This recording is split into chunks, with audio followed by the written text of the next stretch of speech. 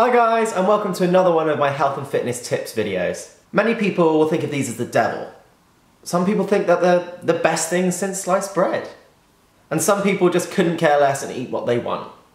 So, let's talk about carbohydrates. The plain and simple of the matter is that carbs are our primary energy source. Our bodies store carbs as glycogen in the muscles and liver. When there's not enough glycogen stored and you're doing a workout or some form of activity, you'll feel fatigued, you may find it more difficult to train hard, and you'll reduce your immune system's ability to function properly. Carbs should never be avoided, but it is important to understand that not all carbs are alike.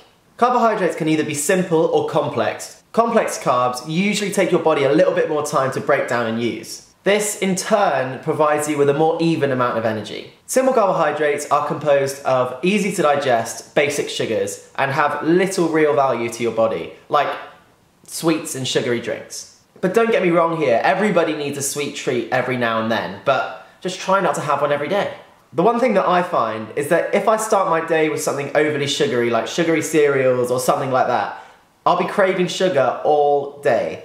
It's kind of like a sugar train, and once you get on the sugar train, it's really hard to get off of it. Think of your body as the most precious thing that you can control, like a Formula One car. You don't put bad fuel into a Formula One car, it'll wreck the engine. Same goes for sugar, it'll wreck your body. Also, you wouldn't put too little fuel in the car because it would run out. It wouldn't be able to perform properly. This is what people do when they cut carbs from their diet completely. They lose concentration and have a constant level of fatigue.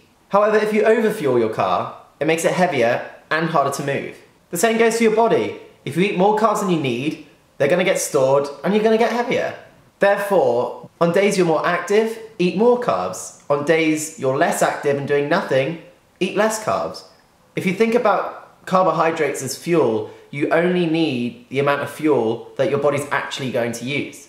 Over the next week, I would love for you to make the simple switch to eating brown bread, brown rice, brown pasta instead of eating all the white stuff, and also trying sweet potato as a substitute for potato. You will feel so many benefits. You'll feel fuller for longer, you won't crave as much sugar, and also you'll be able to see the benefits in your body yourself too.